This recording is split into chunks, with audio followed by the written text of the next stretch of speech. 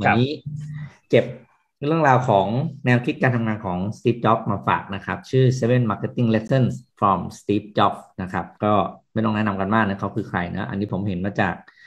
Twitter ของ Wealthy Brains นะครับ ก็เลยเอามาฝากกันนะครับ Steve Jobs บอกว่าข้อแรกคือ make a great product อ่าก็คือทำสินค้าที่ดีเยี่ยมก่อนเป็นอย่างแรกบอก Product ที่ดีเนี่ยคือสำคัญที่สุดออก Product คุณภาพสินค้า จะต้องเป็นอย่างแรกที่เรานึกถึงและทำออกมาให้ดีที่สุดกลยุทธ์การตลาดเป็นเรื่องรองลงไป แล้วเดี๋ยวที่เหลือมันจะตามมาเอง ซึ่งอันนี้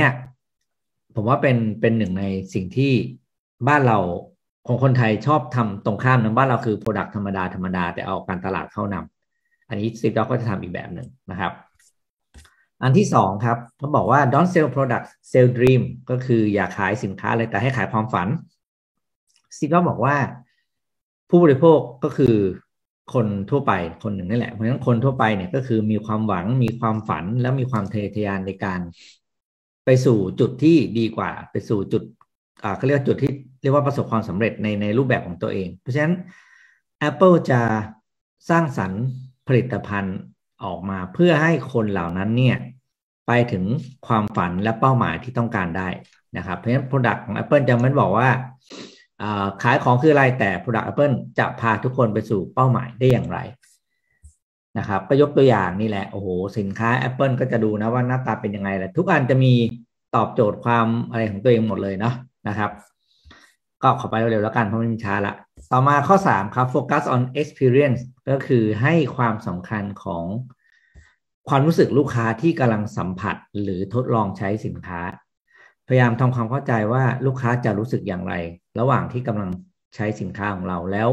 เก็บทุกความรู้สึก เก็บทุกประสบการณ์ออกมา แล้วพยายามพัฒนาสินค้าของเราไปเรื่อยๆ ตามทุกๆประสบการณ์ที่เราค่อยๆ พบเจอไปนะครับ ข้อ 4 คือ master the message ก็คือ เราอาจจะมีสินค้าที่ดีได้นะ แต่ถ้าเราสื่อสารไม่ดีเนี่ย มันก็ขายไม่ได้นะครับ เพราะฉะนั้นเนี่ยเราจะต้อง หัวใจของมันคือเราจะต้องรู้ว่าเราจะสื่อสารอย่างไรเกี่ยวกับสินค้าตัวนั้นนะครับ ก็มีตัวอย่างหนึ่งในการนำเสนอสินค้าที่ได้รับการยอมรับเนะว่าตื่นตาตื่นใจแล้วก็เป็นที่จดจำของโลกครั้งหนึ่งเลย ก็คือการเปิดตัว MacBook Air นะครับ ตอนนั้นก็ Steve Jobs เดินขึ้นบนเวทีแล้วก็บอกว่าเขาแอปเปิลเนี่ยกำลังทำคอมพิวเตอร์โน้ตบุ๊กออกมาตัวหนึ่งที่ มีขนาดเล็กเท่ากับซอง สามารถใส่ไปในซองเอกสาร ที่เราร่อนไปร่อนมากันในออฟฟิศได้เวลา Steve Jobs ก็หยิบหยิบซองนี้ขึ้นมานะครับ แล้วก็ดูลีลาภาพกลางนะครับ ก็คือจังหวะที่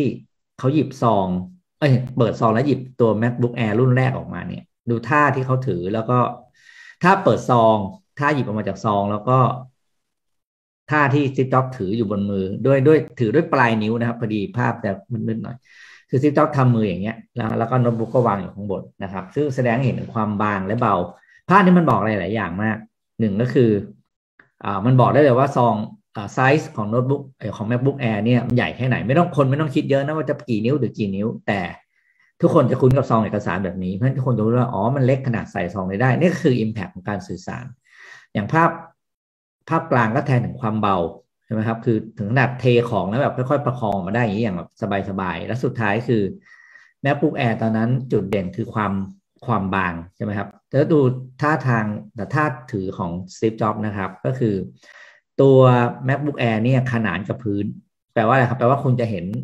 มุมที่คุณจะเห็นเครื่องนี้คือมุมที่มันเป็นเส้นเป็นมุมที่ทำให้เห็นแล้วดูบางที่สุดนะครับ เพราะฉะนั้นการสื่อสารเกี่ยวกับสินค้าเป็นสิ่งที่ซีจ็อบให้ความสำคัญมากเสมอ ข้อห้าครับคิดดีไซน์ครับ เสริมเสริมนิดนึงว่าอันนี้นี่คือตำนานเลยนะพรีไอการเอ่อเปิดตัว macbook air เนี่ยคือระดับตำนานระดับโลกกันนะนี่เป็นแบบฉีกทุกกฎการ present พวกอุปกรณ์ฮาร์ดแวร์ในตอนนั้น ตอนนั้นเนี่ยปกติถ้าเกิดว่ามีขึ้นมา present เนี่ยพวก CEO เขาจะชอบพูดแบบสเปคอะหนักเท่าไหร่นะกี่ mil อะไรแบบเนี้ย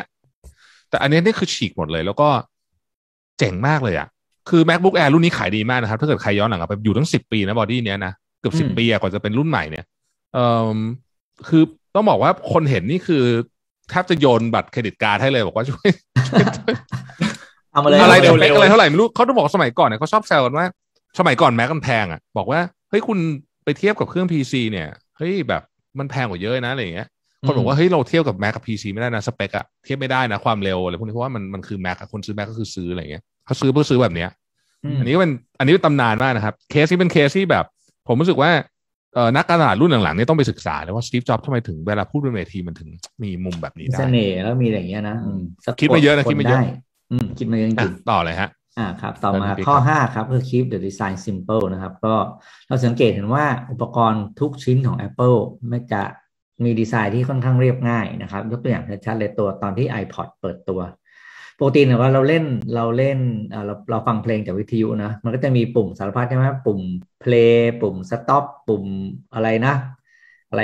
เลื่อนไปข้างหน้าถอยหลังไม่นับปุ่มโวลูมที่อยู่อีกปุ่มหนึ่งอะไรอย่างเงี้ยนะครับ แต่ iPod